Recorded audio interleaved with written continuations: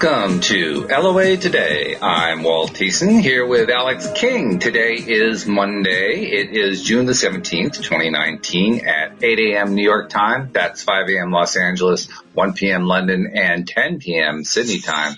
Wherever you are in the world, thank you for joining us for another episode of LOA Today, your daily dose of happy. And sadly, Louis D'Souza can't do this morning's show. He has a family emergency that came up. So we will be finishing off Illusions by Richard Bach next week. Um, that should be a nice conclusion to that book. I don't know if you've ever read that, Alex. It's a cool book. It's, it's LOA long before LOA became LOA. Ooh. And, uh, really, really good. It, it, it has a big following and I don't really know what the overlap is between the law of attraction community and followers of Richard Bach. Uh-huh. But I mean, that book had something like 60, 80 million copies sold. I mean, it was Nice. a huge, huge seller. And this is in the 1970s, you know, when that actually meant something.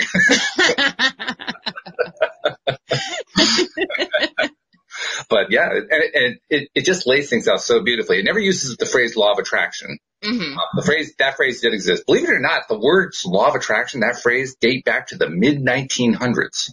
Wow.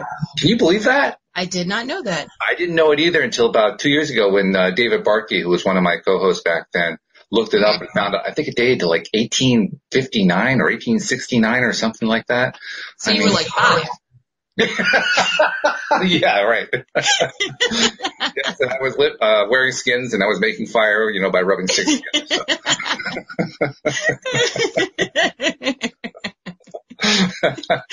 but uh, yeah, the, the term's been around for a long time, but it wasn't in use in Richard's book. Um, Mhm. what he described, the book was called Illusions. Um, Mhm. a really good book. And basically it, it plays up the idea that everything that exists is an illusion. All these physical realities that we think we have are illusions. And if you're a master of them, you can actually create your own reality. Well, that's law of attraction. Basically, Yeah. in a nutshell. It's a good story too. It's a, it's a fictional story, kind of like what we're doing with the Oh. Play. Nice. Yeah, so it's not it's not like somebody preaching at you. Well, this is what you should be doing. It's like here's Right. a story of how I was flying a biplane in the Midwest, and I met this guy named Donald Shimoda, and I mean, it's just it's cool. It's a great story.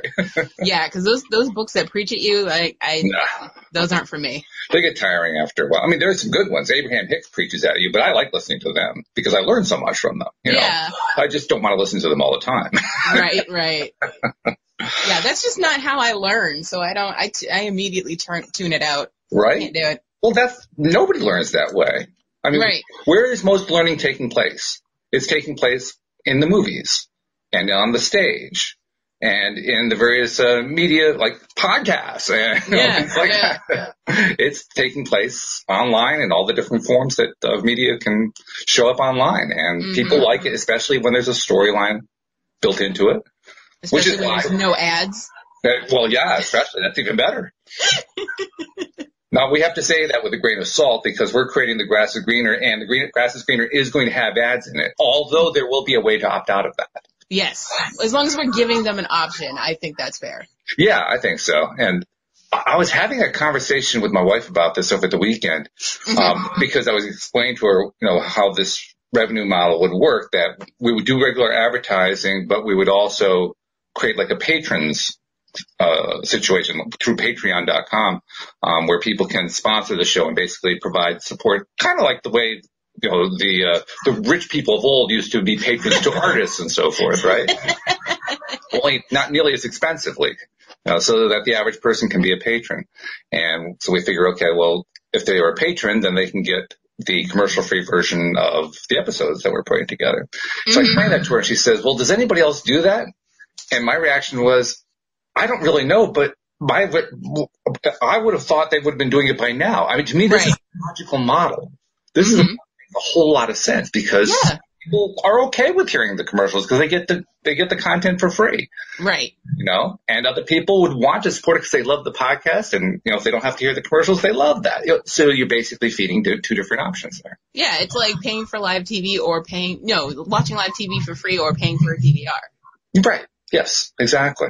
Yeah. I pay good money for my DVRs because I hate commercials. I hear you. yeah, that little zap button is really helpful. right? And of course, we have great news because we have a cast. We have a cast. We have a cast.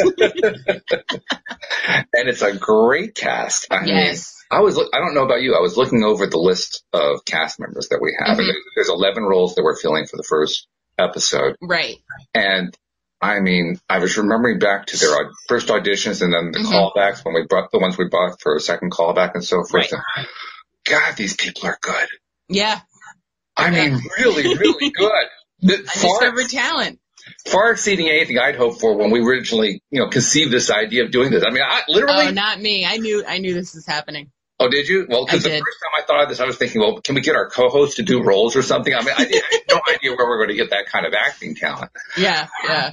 But oh my goodness, we've got some great talent coming through. Yeah. Piece by piece, we're bringing it together. And we, we, I'm not sure if we're quite ready to start going through who the cast members are, but I will tell you um, who we have in mind for Nance. Her name is Carissa Pignatelli, and Carissa, I think you and I can both agree, has one of the most amazing female voices we have ever heard. Yes. She is a talent. Let me tell you. She really is. Yeah. I mean, she can do, PJ described it well. She can do things with her voice that most females can't do. Yes. Yes. I mean, we males, our vocal range. Yeah. Right. We, we males have the ability. We can do falsetto. We can do deep. We can do somewhere in between. We can do. We can shift voices around very easily because of the way our vocal cords are constructed. Females don't have that much of as much of an ability to do that, Mhm. except when their name is Carissa. yeah. Carissa. Oh, good grief! I mean, and she just does it effortlessly, Yeah. Yeah. right? She could be in the middle of reading a sentence and shift characters like, "Whoa, what just happened there?" Yeah. She's really good. I'm glad we got her. I'm glad we got her too. She is Yeah. fabulous. Yeah. hmm and quite the personality too. I mean, she's fun Yes. to, to talk to off off camera, so to speak, or off Yeah. mic. Yeah. Yeah. So this this is going to be good. So anyway, we're we're now that we've named all the cast members and we're interacting with them, we're collecting schedule information and so forth, so we can start coordinating for rehearsals and recording times and all that kind of thing. Yeah. So it's getting close. It's getting pretty real. It's getting real out here. and it's getting exciting too. In fact, uh, you and I Yeah. start thinking about while PJ's getting ready to do the rehearsals, we got to start thinking about what the second episode's going to be. yeah. Yeah. I mean, we've done some outlining, Right. You know, but but we still have to we have to write it. We do. We do. I mean, that's the funny thing. Actors have trouble doing you know shows where there's no script. I was like, wait, are you talking about improv? Like, what? I mean, yeah, it's a little challenging. I, I know they could do improv. I know that really good actors can do great improv, but Yeah. you know, when they're expecting a script, they kind of want the script. Yeah. Like today, we're just gonna wing it, okay? And just whatever happens, happens. Gotta do an episode like that one. That would be fun. okay, next you're gonna say we need to do a musical episode, which I'm so not about. a musical episode? I hadn't thought of that. Every every TV show has a musical episode for some god-given reason. It's it. You can't go. I would say more than five years without doing a musical episode, and it doesn't work for a lot of shows. I don't know why they do it. I, I have to admit, I, I'm kind of lost. I don't know why you would do Yeah. that. they did it on. I mean, there's they've done it in creative ways, so it doesn't feel like a musical with some of them. Like uh, the way Supernatural did theirs was they had a case where you know ghosts were haunting this play, and the play happened to be about them because a writer had written books about them. So it was it was all intertwined, Okay. and it was good. But yeah, so but they made it out alive without having without the the actual stars having to sing. So that was good. Wow. Yeah. I mean, that, that, that's not an easy kind of transition. Maybe because I grew No. up with, I mean, there were a lot of musicals when I was growing up. Yeah, yeah, And, you know, you, you, you kind of get the sense that you, you have to write to the music. mhm, You can't really write, you know, like you would a, a traditional drama or a melodrama like we're doing or whatever. You just can't do, it, well, let's just ship some, you know, put some music in there and we'll have them sing it. No, it, it doesn't work that way. It doesn't. It doesn't. You know, Ugh. And the That- great, those are my worst complaints about certain shows. Is I was like, okay, Right. if you give me that musical episode though, I could pass, skip it every time. Mm, yeah, well, I can see that. I, I honestly, I hadn't been aware that that was a, a thing going on. Yeah, it's But- a thing. But yeah, that, that that's a tough sell. Yeah, really is it tough is. sell. It is. Because I mean, when I look back at the great musicals, I ask myself, how could those have been written if they were originally written as dramas? And I don't think they could have. I'll give you a good example. Uh, Grey's Anatomy did their musical episode, and what they did was they had one of the main characters get into a really bad car accident. So everything that was being sung was like in her uh, coma, so to speak. So Ah, it was. okay. I was like, okay, all right, I can see what they're trying to do here, and it was Mhm. all songs that have already been part of the soundtrack of Grey's Anatomy. So I was like, all right, Kind, kind of, sort of. Yeah. yeah. Okay. I was like, I'll accept it, but I'll still skip it. it, it one, sounds, one and done. I was like, no. yeah, right. Well, it sounds a little bit like um, a book that was written, I think, about 20 years ago by a woman who is a doctor and a medical researcher, hmm and her field of expertise was strokes. Mm. And she had a stroke. hmm The book was about her experience as a stroke victim, written from a Oh. medical perspective. Hmm you know? And so when you were describing what you were describing, I thought to myself, that sounds very similar to this other, I think it was called Stroke of Insight or something like that. Oh, I like that. Yeah, it's a good title. And I, I'm pretty sure that's the title of it. I could be Yeah. wrong about that. But yeah, Mhm. it, it was a fairly groundbreaking book because I think it was the first time someone had actually written extensively about their own experience with the thing that they've been studying all their lives. Right. Yeah. You know, that's pretty unusual when you think about it. But hmm yeah. I have to ask you, you mentioned that there was a car accident. Did that like cue any ideas in your head for our episode? Um, let me think. Yes, it does now. it does now, okay. Because I can So- come up with ideas on the fly just because I watch so much TV. So I'm like, all right, how can we fit this in? Yes, we can do this. Yes. so, so spoiler alert, yes, there is something to do with a car crash in the first episode. I'm not going to say in the first episode. Oh, well, yeah, you're right. You're right. there is, yeah. there is. Yeah. I'm thinking more intensely. I'm not going to spoil anything. No. That's my job, but you know. That's right. You're you're the one who's supposed to be doing this, not me. Come on. Isn't that, I would never that the, uh, spoil my own show, though. isn't that the subtitle of this? Your Daily Dose of Happy, spoiler alert, by Alex King.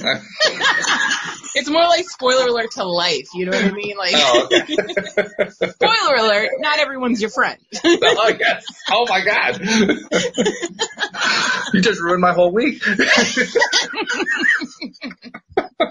what I'm here for. oh, God. Well, actually, I think it kind of ties into what you had in mind for a topic today, now that I think Uh-huh. about it. Agreed. so give us a clue. We'll talk. Oh, actually, I should also do the promos first. Let me do Yes, the promos before you get to the topic. Okay. Okay. So first and foremost, are you a subscriber to the podcast? If not, why not? Really easy to do. Just go to the homepage of our website, loatoday.net, and you will find right there at the top of the page instructions on how to become a subscriber using your particular computing device. Just walk through the steps. It just walks you right through it. And when you're done, all of our episodes come streaming right to your device every single time we publish them. And oh, by the way, if you're also interested in seeing us as we are talking about all these things we talk about on LOA today, check hmm us out on YouTube because we're now live streaming on YouTube. And uh, you can also, how to, why don't you tell people how to subscribe and also how to get notified because that notification is really critical, especially if you want to listen to the live stream. Tell you what you're gonna do. What you're gonna do is you're gonna go to YouTube, search uh, LOA Today podcast videos, and once you've done that, hit the subscribe button. And next to the subscribe button, there's a little bell that'll notify you every time that we go live. There it is. Very simple. So subscribe and share. We'd love to have you as part of our growing community, and it is growing. It's, it's growing very fast. Yeah, it, I'm, it's like this is cool. We, we've had a growth spurt before. We had like about a year ago, we had a really nice growth spurt, and then just kind of leveled off for a bit. We're on another Mhm. growth spurt. I like it. That's because I'm here. That's got to be it. That- well, it, it's either that or the ears. I don't know which. It is. Because the We headphone the ears are great. Yeah, they are. They're fabulous. So. Oh, and the other reason you want to make sure that you're subscribed is you get all the alerts about when we're going to be releasing The Grass is Greener. Oh, and but also you can um, go like our page for, for the grass is Greener. Is it a page or is it a group? No, it's a page. Oh, we have a page on Facebook. Yeah. Yeah. hmm Yep. Once we get the audience up, I think we'll create a group. So, you know, like a discussion group so people can discuss the episodes amongst themselves. Yeah, it's a good idea. Mhm. Well, you want to take it on uh, uh, know, creating the group and, and getting that started just so we have the, the template in place, so to speak. And then as people come in, we can guide them to the group. Um, I'm gonna wait a little bit. Maybe episode three, and then I'll and then I'll do it. But yeah, because it's a matter of like clicking two buttons. So Oh, all right. yeah. Hey, I'll, I'll defer to the social media queen. I mean, you know I better than I do. I aim to please. so tell us what kind of a topic we have today. As usual, you came up with an interesting one that we had. I don't think we've really actually gone after this one before. So tell us about no, it. No, we always do the opposite because we're we're so used to um taking negatives and making them into positives. Mhm. to figure out stuff for, you know, for ourselves and asking for a friend and such. So today I wanted to talk about apologizing because we always talk about, uh, having toxic people in your lives, um, what to do with that situation, uh, people fixers. We've talked about that. And now we should talk about what to do if you're the toxic person. Like what, what responsibilities do you have? Oh, well, none of our listeners are toxic. Some of them are a little salty, but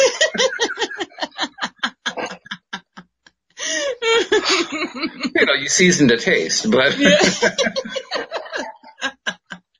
well, there's a fine line between being a hot cup of tea and, and being toxic. So, that's true. This is yeah. true. Yeah, and then the fine line is one leaves you alive. Mm, but yeah, it is a problem that often gets overlooked. Very often, uh, well, not so much I think with deliberate creators. Deliberate creators learn. It's just part of of what's involved in learning how to become a deliberate creator. You learn how to be more in touch with what you're feeling and connecting with it and interacting with it on a regular basis. So it's probably going to be a little bit easier on average for someone who is pursuing this to be, uh, know, somebody who can apologize. You're shaking your head no. You're just I'm shaking my head no because Right out the gate. not all of us are built the same. I'm going to assert my claim anyway. But You do that. You, you do vouch that, for yes. you vouch for the neurotypicals. I'll vouch for the neurodiverse.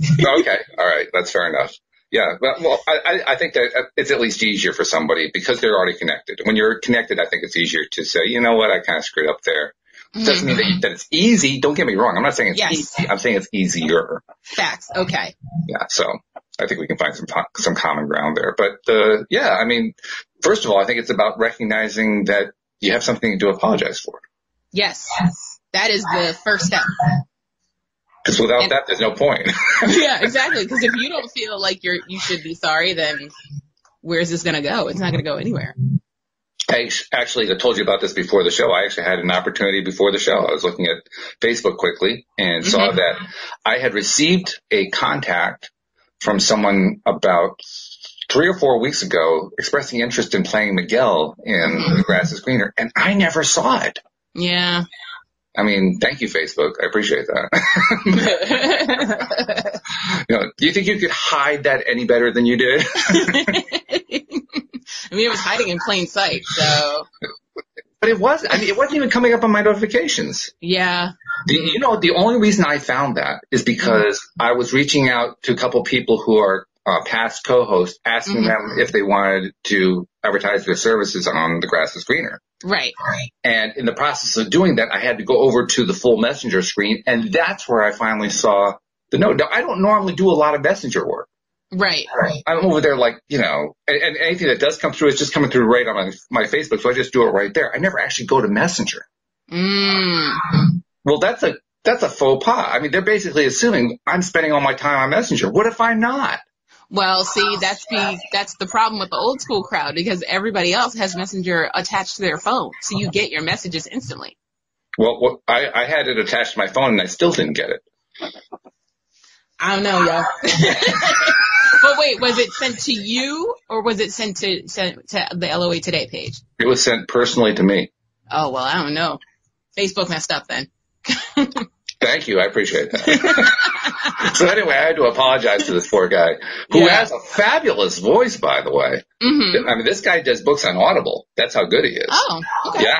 Really, really good voice. And Mhm. it would have been an interesting choice for Miguel. Um, we, we were already filled the role, obviously.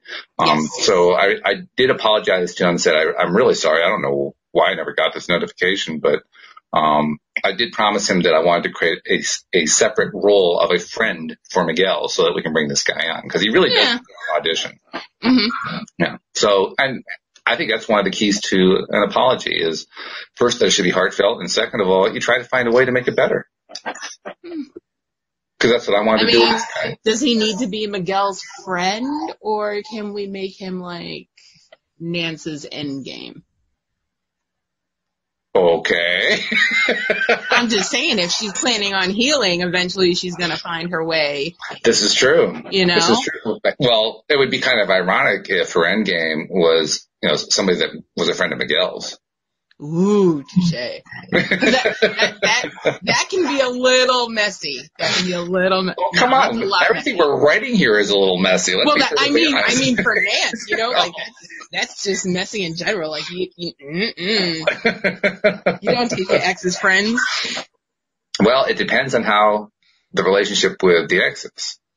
That's Well. the key. And, and very often, you're right. Very often, those relationships aren't so hot. I could never date one of my ex's friends. I could just like I could ne- never date one of my friend's exes. It goes both ways. I, could, I couldn't do it. okay. Well, then that's you. Thank you for making that clear. We appreciate it. I mean, that's just. Uh, and you just broke 500 hearts out there. You realize that? so sorry. After I just put an ad out on my Facebook page saying how single I am and I'm looking for, for my friends' recommendations. really? I did. I was like, listen, guys, let's kick it old school. Let's do friends of friends. You know, introduce me to somebody. Um, yeah, cause, cause this whole, this whole, uh, dating app thing is not working out. Well, it worked for me to do that. Yeah, that's what I'm saying. That's what that's what gave me the idea. It was like, let's do it old school. Like, Yeah. you know, It Yeah. worked great.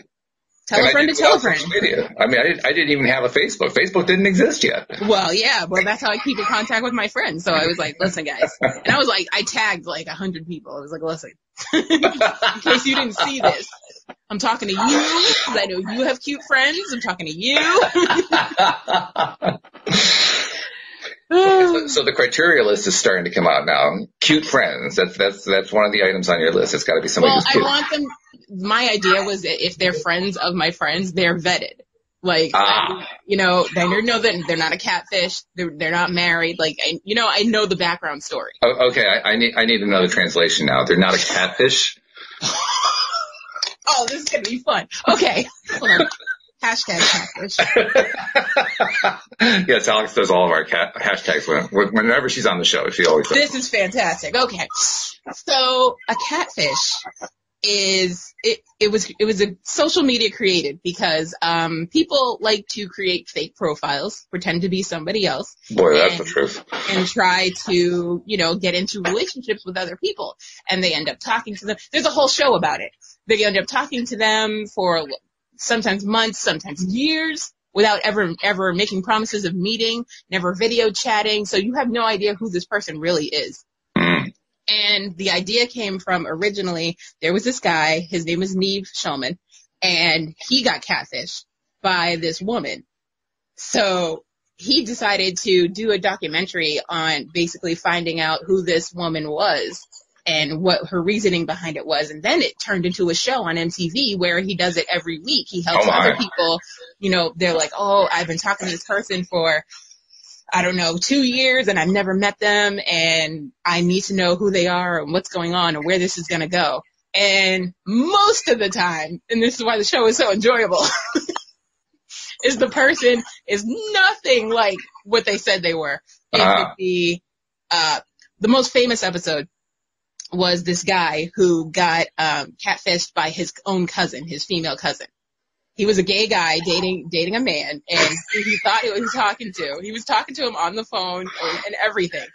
So the they get to they get an address. They go to this address, and there's nothing there. So it's him, the cousin, and the two guys from Catfish, and they're like, "What's going on?" So finally, the female cousin goes, you know why you don't know where Anthony is? Cause I'm Anthony. What? So we, he was like, why would you do that? And she was like, you should have never called me a fat ass Kelly Price. She was mad for that long.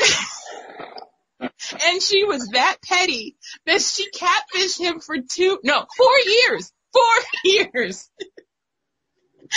oh my god. And then at the end they were like, speaking of vocal range, at the end they were like, how did you get, who did you get to talk on the phone with him? And she was like, no, that was me. I do, I do a, a deep Anthony voice. And she did Really? the voice and it sounded like a dude. I was like, whoa, what is going on? Wow. It was great. Yeah. So every episode's like that. Some episodes are really nice and couples actually are who they say they are and they end up meeting and falling in love and getting married and all that stuff. But yeah, most of it is, is petty tragedies and I, and that's why I love it. So, so let me go back to the theme of our show, which is apologizing. Did she apologize? Eventually, like they always go back, like after, you know, three months or six months, they go back and see how they're doing and, you know, they still weren't talking. Like the two cousins still weren't talking. And then like they did a reunion show like a year later and they were back talking. So she, excuse me, did eventually apologize. But yeah, there's a lot of apologizing on that show. Yeah, I can see why there might be a need for it. Yeah, and it's always the same thing. It's always, I'm sorry, I'm not who I, I, I'm sorry, I'm not, my, I don't look like my pictures, but everything I told you is true. Everything, and then they're like, well, does your mom have cancer? No. Uh, did, did your cousin die in a car accident? No. Okay, so everything you didn't say was not true. So, so I'm going to take a little bit of a leap of logic here mm-hmm. and point out, and, and I'm going to point to a very famous person, but it isn't just about the famous person. It could be a Okay. lot of things. Yeah. This is how you end up with a Donald Trump as president, Factual. right? you keep putting factual. out there, I'm going to deceive people, I'm going to deceive people, and you get somebody who deceives people. What a shock. yes. Yes. I mean, this is not a difficult math problem, folks. no, no. So you got to be really careful about what it is you're going to put out there. And, Mhm. and more than that, you got to know your friends, or in this Yes. case, your relations. Well, that's the thing about the internet. Anybody could be anybody. The internet, yes, but he presumably knew who his cousin was. And He he, knew who his cousin was, but he didn't. He didn't know he he didn't know she was mad. First of all, he didn't know she was mad for four years. He didn't know that she had this much petty in her to do this, and Wow. that's why it was so great. Ah, I shouldn't be laughing at people's tragedies, but it's funny. people do it all the time. That's what telephone's for. Oh, that's how they make money now because every reality show is about laughing at people's tragedies. it was one of the reasons why I created LOA today. Yeah, I mean, because there was so much out there, you had to counteract it. I, I needed something to, you know, feed my soul after turning off all of those television programs I couldn't stomach anymore. I know. Like, what do you watch? Like, there's nothing left. There's not a whole lot. I mean, you do a lot of DVR. That's about all I can say. You just- Yeah, you know, yeah. You're playing the same program over and over again because that one's okay. Yeah. Mm-hmm. oh my god. And then here we are creating The Grass is Greener, which is uh, fairly melodramatic. hmm it's got some fairly messed up stuff going on. But that's life. That's what life is. So we gotta, you know, bring it to the light. Well, you have to have that as a starting point. I think life is about growth, and that's what we're really focused on. Oh focusing yes. on. Well, that's the main point of this of this show is Right. growth. Yeah.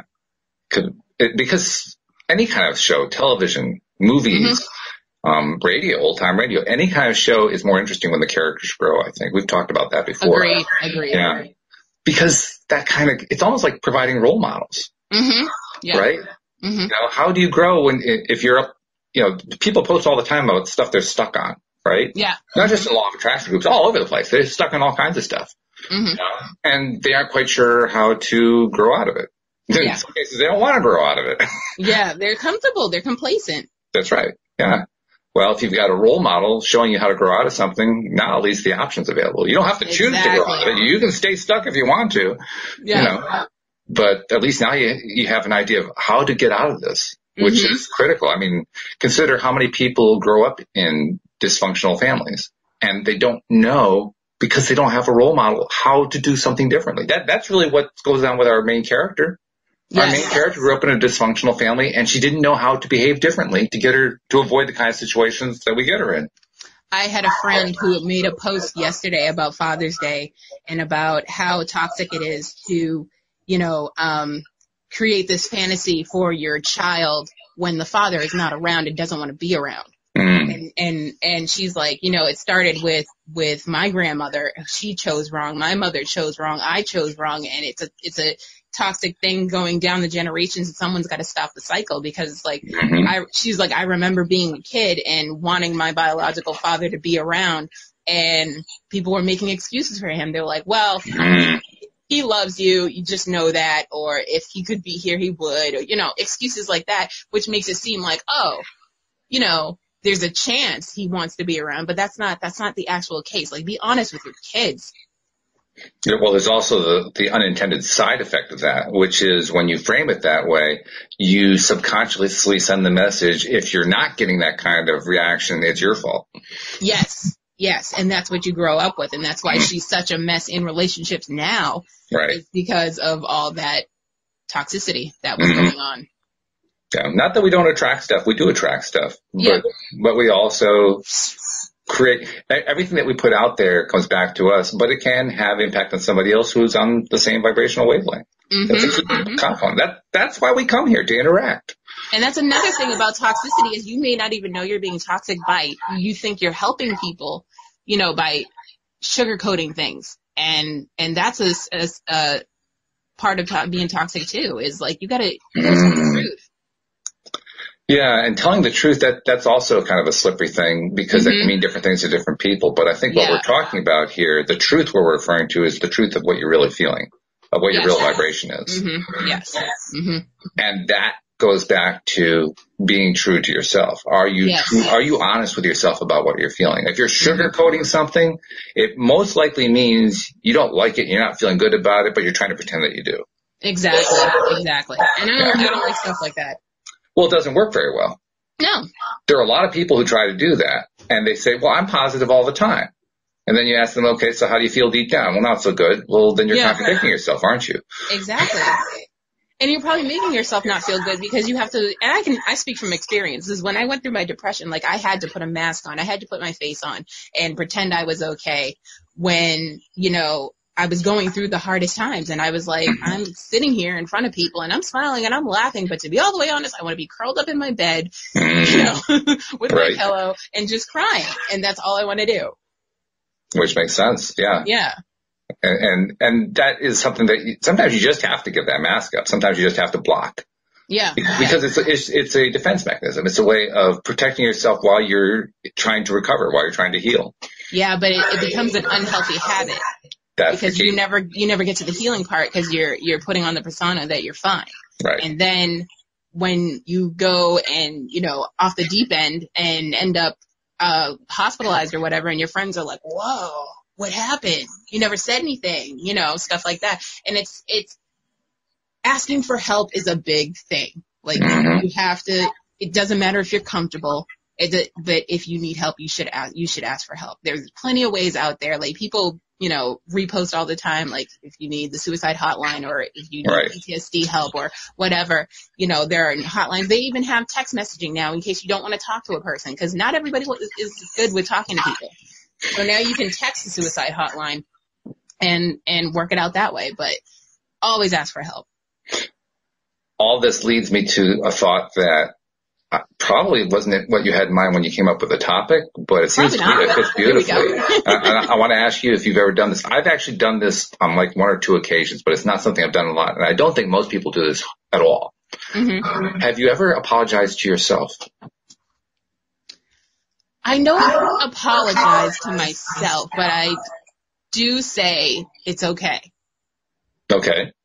So I feel like that's a form of apologizing, like mm-hmm. just letting your know, you know, yourself know, like it's okay, it'll be fine, mm-hmm. you know. I think that it, it can be useful to actually say the words "I'm sorry" to yourself. I also think it's important to follow up with what you want to feel instead. Mm-hmm. Um, and I say that not just to point out what I think is a better way to to deal with stuff like this where you kind of trip yourself up. Mhm. And you need to get, you need to, to release it a little bit. Mhm. That, that, that's where the initial idea of the apology comes from. But it's also about identifying what you want instead, saying, you know what? I am making a pact with myself. I'm not going to go there anymore. And the reason I think that's important, first of all, it helps you. It helps Yeah. you get into a better place. Secondly, it, it provides a pattern for a different way to apologize to somebody else. Like Yeah. with, with the guy who I, I, I don't know why I was apologizing. Facebook should apologize to me, but, but I, no, I apologized to the guy because I did miss his message and Yeah. I tried to make it up for him. You know, so I apologized. I'm sorry that I missed it. And by the way, here's the way I want to try to make up for it. Here's how I, I, I want. I would feel better if I can in some way create a role for you. So that's what I offered to him. I, Right. I somehow to create a role to make up for the fact that I missed it when he was trying to apply to be a cast member. Yeah. Yeah. Now, was that a major hurt that I did, did to him? Probably not. I mean, you know, you, you especially if you're an actor, you put up with It rejection all comes the and time. goes. It's Yeah. just part of it, you know. But by the same token, I think it's the right thing to do. Mm-hmm. You know, I agree.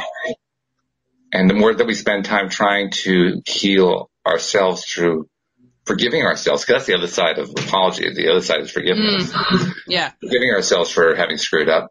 It also makes it easier to forgive somebody else when they screw up toward us, Mhm. and it makes it easier to um, apologize to somebody else and follow up with a way that will help smooth things over. It, it, it basically it gets our mind into a different track because so often whenever we're dealing with something that was unpleasant or, or a hurt or something like that, we stay stuck in the hurt. Mhm. Mhm. Even I with agree. apology, you know? Yeah. Mhm. Somebody will say, I apologize, and the other person says, okay, thank you, and deep down they're saying, yeah, they're full of crap. Yeah. Yeah. Because So they're not no actual gain, right? Yeah. There was no actual improvement there. Yeah. It was all on the surface. And there's also the side of the person who keeps apologizing over and over again for the same thing. And it's like, okay, I accepted your apology the first time, but because you did it again and a third time, I'm not really feeling like you're sorry. Because you keep doing it. So, So, are you trying to convince here? You, you or me? exactly, exactly. Like, who are you really talking to? Like, I'm, I'm sorry, it'll never happen again. But it does. so if you're one of those people who apologizes over and over again, you're a good candidate for apologizing in the mirror, Mm. right? Yes. Really, you're, you're trying to forgive yourself. Yes. And try to make yourself better so you won't repeat the same mistakes. Yeah, yeah. Mhm. So maybe start there. That's Yeah. the better way to do that. hmm This apologizing thing is actually more complex than we give it credit for. Facts. If Right. it was easy, everybody would just do it and get over things. My bad. Okay, let's go out to eat. I brought snacks. well, you just brought something else up. My bad. That that's a phrase that's been around for a few years now. yeah. And I always got the impression. You tell me if you think differently. I always got the impression that that was pretty surface. Mm, it can be. But I feel like that's the starting point. I feel like that's the beginning of the conversation. Like, it's like somebody will say, okay, this is how you hurt me. And you say, my bad. I didn't mean to. You know what I mean? It's, it's the beginning. Like, you don't just say, my bad and keep it moving because then you don't really care. Well, that's what I. most of the time that I ever heard somebody use the phrase, that's the way they used it. Yeah, Like exactly. let's let's get off this topic as soon as humanly possible. exactly. No, you gotta follow up with a real apology. Like, I didn't mean to make you feel this way, blah, blah, blah, blah, blah. Mhm. Yeah. Yeah. So that that apology, boy, this apology stuff is complicated. hmm hmm And then you get the, the back, the, the half butt apologies.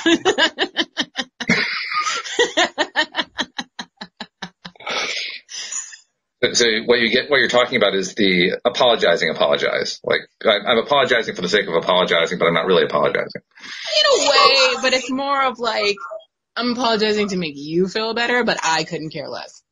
That's almost worse. Yeah, yeah. It really is. It's like, Like, I'm pretending that I give a crap, but I don't give a crap. It's like when someone says to you, well, I'm sorry you felt that way. yeah.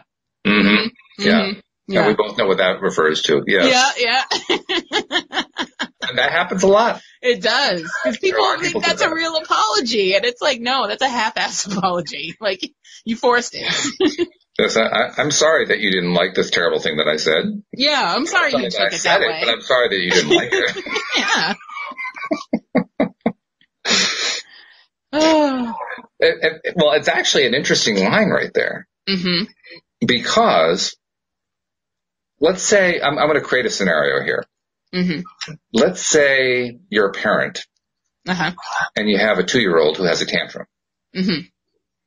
And as the parent, you really can't take the tantrum seriously. You know perfectly well this is about the kid trying to, you know, steal some Yeah. energy or, or get some attention or something along that line. It's Right. really not about, you know, how terrible they're being treated or something like that. Mhm. Yeah. You know, so you might say something like, well, I'm sorry that you feel that way. Yeah. Yeah. You know, are you really apologizing for whatever the, No. the hurt is? You know, is that a bad thing that you're not apologizing for that? No, because it's not you. It's it's it's the how the, it's how they're feeling. It's So that's what I'm Oh, saying. The line yeah. here is a little bit fuzzy. It's like when when is it crossing the line? When is it appropriate not to cross the line? It's not quite clear the way we're framing it yet. I mean, if you actually feel like you did something wrong, then don't use the half-ass apology. There you go. Make Yeah. it legitimate. But here's the question. Is it appropriate ever to do the half-assed apology? I mean, you, yes, you say, I don't feel like I am responsible for your harm, for, for, for you feeling hurt. Mhm. Okay. Well, Abraham teaches us that we're really never responsible for the other person feeling hurt. They're the ones who are, I mean, we are all in control of how we're going to feel about any given situation. They're the ones True. who are, okay.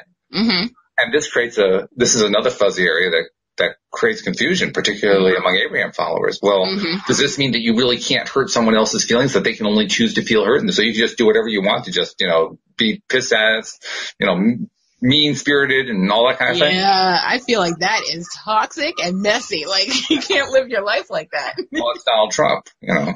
exactly. But I, I think the point that they're making is the vibrational response is yours. mhm. The vibrational output is theirs. And this is what I try to keep in mind where somebody like a Donald Trump or anybody, I'm, I'm picking on Donald Trump because he's the president, but Right. anybody who engages in this kind of behavior. Um, somebody who puts out stuff like that. The Mhm. perception that others have is that, well, they do it with impunity. Mm. But that's not the reality. Yeah, sometimes they just don't know any better. Well, more than that, it's not like there's there's impunity. It's not like they never pay a price for it. Mm. They're constantly paying a price for it. Yes. You may not see them paying the price, And that's what you got to consider. price. Yeah. I mean, the, the, I, I often I, this is something I agree with Abraham about. I think we're much too litigious. I think we're we're too concerned with with laws and and rules designed to deal with the fact that I'm afraid about such and such. I'm not saying that we shouldn't have any uh, laws in place at all. I'm just simply saying we place too much emphasis on them Mm.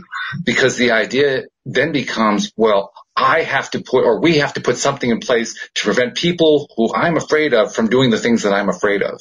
Yeah, but it's like not everybody's afraid of the same thing. Number one, number two, it's like who says who's in charge of what now? Because like everybody's like, well, if we're gonna make a law for this, we gotta make a law for that. And then there's then there's both sides to each to each um story. So it's like hmm so we're just all arg- end up arguing on the news. It, it's a. Well, hopefully not arguing on the news. That's really bad. I mean, in my opinion, anyway. yeah, yeah. Some people live for that. I hello. People like Donald Trump. I mean, he loves the fact that, you know, something like, I, I don't know what the numbers are, 80 million people hang on his every tweet. That's because he, he's an irresponsible tweeter. That's why. So, so what does that make the people who are following him? Just as messy as us because those are the same. Those are my people. Those are my same people that are watching reality shows. Like we're all waiting, waiting for the crash and burn because we want to see it go down. well, some of them are also people who really like him. They really like what Well, he's that too. That's that's the other half. doing. Yeah. More than half. Probably like, you know, Probably. Yeah. Yeah. They're like, yes, I really agree with this. And then among the crash and burners, there are the people who are watching for the tweet so they can write about it and really, really smash Donald Trump. Trolls. You know? Yeah. Well, actually, we also call them journalists, but nevertheless, it's the same thing. Journalists are trolls. I'm sorry. they were the original trolls. That's what happened. Uh, I guess we're never going to get the grass is greener on any of the major ma- uh, publications after that one. But or either that, just- we better be prepared for those really negative reviews to come through. I was going to write a positive review, review about the grass is greener, but then when I heard what they had to say about journalists, oh well, that was over. That's what happened. Me and me and my nurse were talking about this the other day. That's what backfired with uh Brie Larson, who was uh Captain Marvel, and she's like, you know, the first. um I'm not gonna say the first female superhero, but in the in the Marvel universe, she is like major, like most powerful, and she went on a rant and basically a power, a feminism power trip. Okay. So all the journalists were like against her because she kept talking crap about journalists. So that brought all the ratings of the of the movie down wow. because everybody's like, we can't stand Brie Larson. We don't go see Brie Larson. And and then like a couple weeks later, people realized, you know, the real fans, the Marvel fans, were like, okay, but it's Captain Marvel, so we have to watch it. And that's when the ratings went back up. But ooh, Disney and Marvel were mad at Brie for talking all that smack. They actually put her on hush time because she kept she she was being detrimental to the movie. It was oh, it was horrible, horrible. Like every every interview after that that happened, she had to go on with other people. Like it wasn't there was very little um uh, interviews or, or stuff about Captain Marvel, it immediately went into Endgame, which was like came out a month after. So they were like, "Oh, thank God, we have something else to talk about." Because so they put her on with all the all the other characters that were on Endgame, and they were like, "She is not allowed to do interviews by herself anymore." So I take it she's on probation now then. Listen, Disney and Marvel do not play. Okay, they do not right? play. They do not play. They already. I mean, did you hear about the um, the director of um, Guardians of the Galaxy, um, James Gunn? Dunn, I forget his name. Um, he had said something anti-political on Twitter like 20 years ago, and Disney found out about it and they fired him. Wow. Yeah, just as something he tweeted 20 years ago. And it was like, are you serious? Like, so he apologized and everything, and then and then all the cast because the the third movie is supposed to come out, and the cast decided, well, we're not going to do the movie unless you bring him back. Oh. So, and he actually got brought in to do the next Star Wars. So they actually lost him, and then they were like, well, can, you can come back, you can come back. So Disney forgave him and they brought him back and now he's doing, he's doing, going to be doing the third movie because it wouldn't have been the same without him. Like it, the, he made the movie. Like, hello.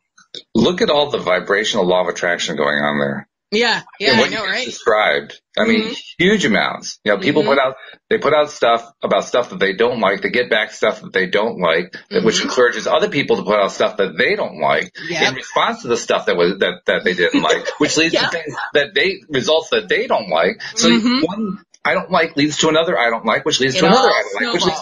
I'm like, holy cow. Yeah. Exactly. I mean, if there's, if anyone ever needed a good reason to focus on what they prefer instead of what they don't prefer, there it is, right there. Hello. Mhm. Say it again for the people in the back. That's right. and that's what we're doing with the grass is greener. That's the whole point of the show to help people Yep. understand. You know, what you put out, you get back. What goes around comes around. Sowing leads to reaping. However you want to phrase it, it doesn't make any difference how you call it. The grass is greener on the other side. Guess what? the grass is going to remain on the other side. It's not Yeah, going over yeah. your side. the grass is greener wherever you water it. Yeah, that's right. hmm That's right. That's that's a good thing to keep in mind too. Maybe, we'll, maybe we'll actually be able to teach Nance that. That'd be good. That is the whole point of why I, I titled the show what I titled the show. Mm-hmm. hmm Yeah. Well, it's going to be good stuff. Hmm So apologizing. Have we covered everything about apologizing? I think so. and to those listeners who are wondering what the heck we're talking about, I apologize. I'm sorry for the way you heard it. Yes. no, no, no. We don't do half-ass. no, we don't. I sincerely apologize. As I'm laughing and talking to the mic at the same time. Yeah. I guess that goes to prove that apologies can be funny. That's true. That's true. Yeah, that is true. It's the Yeah. basis for some entertainment, actually. hmm hmm So let's see. We got about ten minutes left. I'm wondering uh, what else we can talk about with uh, with the audio play with the grass is greener. Because I mean, the the good news is that we have this new cast. So Yes. maybe we talk about you know what to expect for people who are wondering like when the, the play's going to come out and you know what. Before we do that, I want to um, ask our audience for, you know, participation.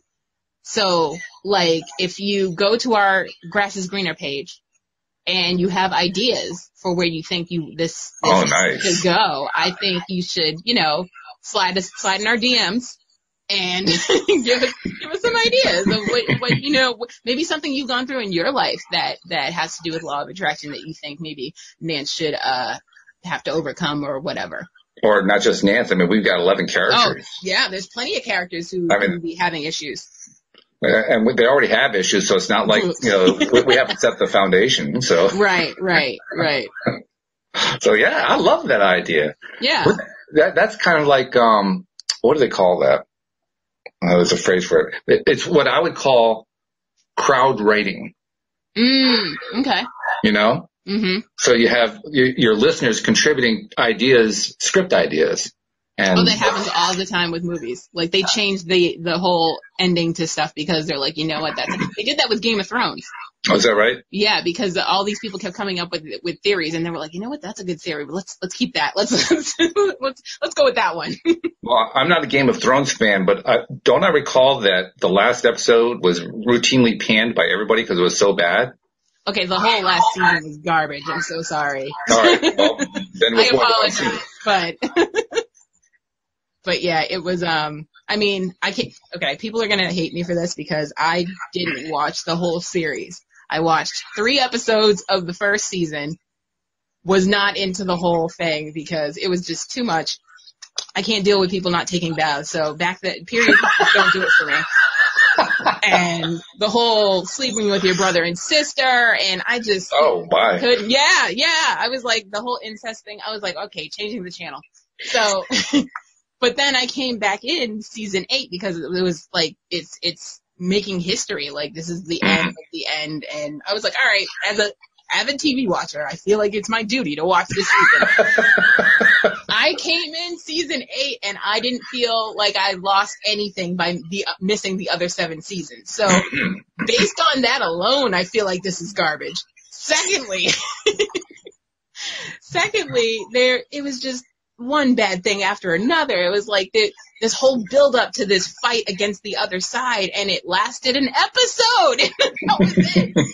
and the whole the whole season was only six episodes, eight episodes, something like that. And I was like, oh, that sucks for you guys.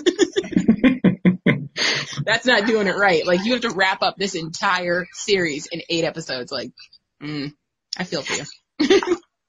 Send your hate mail to Alex King facebook.com forward slash Alex King. Uh, no, most people agree with me though.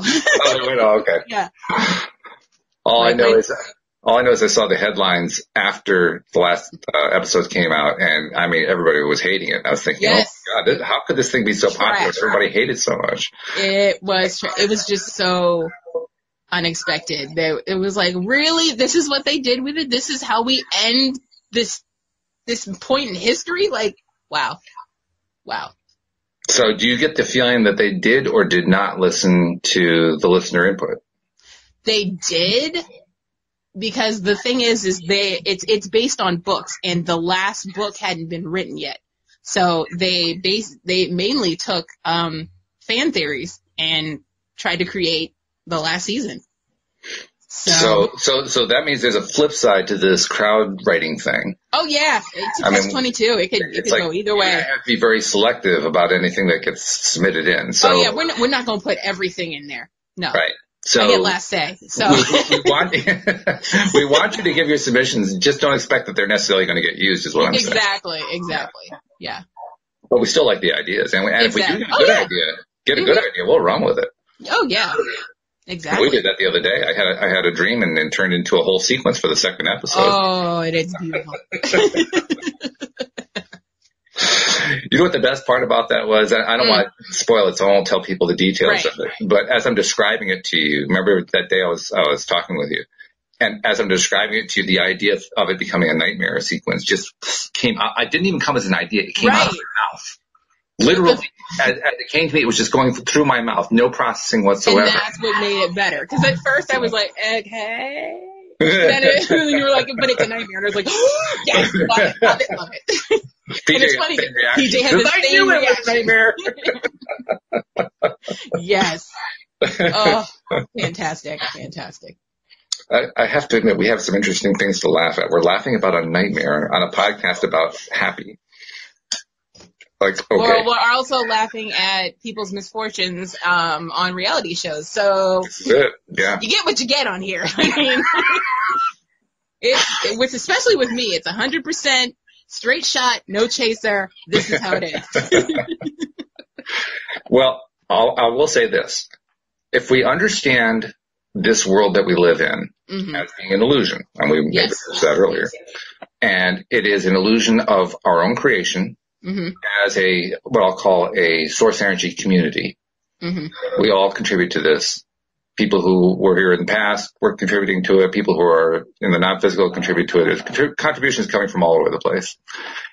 And we create this reality that isn't really a reality. The reality is much more divine and indifferent to what, what's true than what we're experiencing here. But we create this. Yes.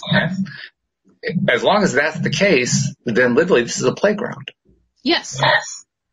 And as a playground, anything goes because literally there's no such thing as permanent death. hmm I mean, you, you, you will die. I mean, none of us get out of this alive. That's, that's the thing Yeah. about Exactly. anybody who's in, this is much I do know about Game of Thrones. Nobody get out alive. well, no, people got out alive. Except for the ending. And that's probably the reason why people didn't like the ending. That I think, I think the fans probably expected everybody to die and have one person left saying, you know, going, doing what, uh, Jerry Rubin, do you know who Jerry Rubin was? No. Jerry Rubin was one of the original anarchists during the um, the 1960s, 1970s, who was leading student protests and so forth. Now, how would I know who that is? I'm not expecting that you would. I'm just simply saying that's who he is. And he was once, he was once interviewed Mhm. asking, you know, you- you're you're trying to bring the system down. You, you're anti-establishment. You're you're, Mhm. you're trying to end all the stuff that you're uh, against. What happens if you pull off your, your revolution? You know, yeah, then what? Then then what happens? And his response was, well, I don't know, man. Maybe we just kind of sit there and groove on the rubble. Fantastic. So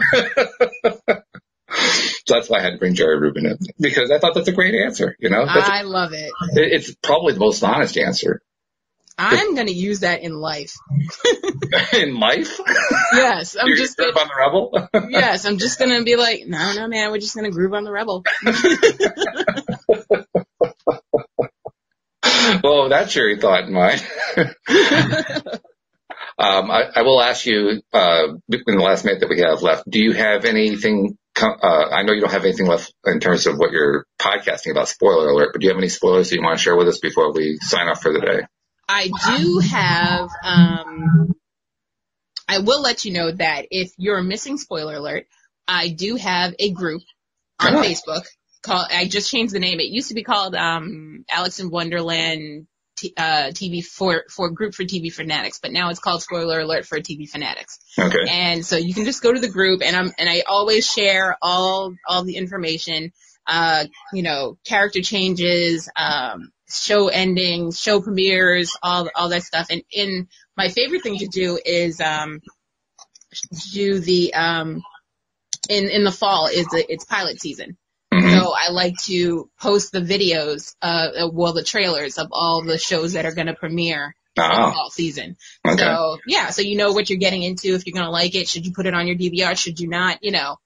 And and yeah, that's that's my favorite season. so, so spoiler alert isn't actually dead. It's just been resurrected on Facebook. That's all. It wasn't resurrected. I what I I started out with the Facebook group, and then I was like, you know what? I should make this a podcast. Oh, I see. So okay. then I started deviating from the group because I was like, I didn't want to double share, and I wanted more people to listen to the podcast. So I stopped sharing so much on the page. And then uh, so once I canceled, uh, once I canceled, spoiler alert, I was like, you know what? I'm just gonna put it all on the page. Well, good. I'm glad you got back to it because that's Yeah. that's basically the root of where it all came from. Exactly, exactly. very And good. that I have time for. yeah. 'Cause that takes two seconds. Even when writing scripts for The Grass is Greener, yes. that's Yes. a good thing. So, Yeah. well, thank you for sitting in for Louis today. Uh, I'm sure no he'll be back problem. I'm always on call. I'm a short order cook. I can be ready at any time. You are, and, and I, I rely on you. You're like you're better than my left arm in that sense. You're always I know, right? Great. Thank you so much. Thank you to our live stream listeners. Thank you to our podcast listeners as well. We will see you all next time here on LOA Today. Goodbye, everybody.